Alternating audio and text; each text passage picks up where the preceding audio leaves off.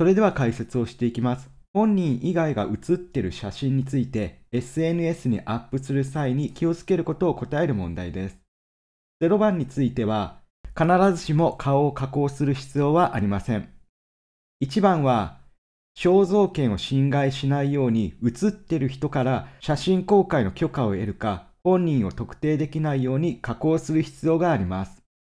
2番のジオタグは写真が撮影された場所の位置情報を示すものです。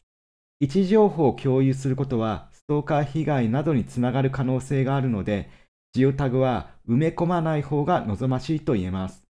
多くの SNS ではジオタグは自動で削除されますが、例外もあり得るので注意が必要です。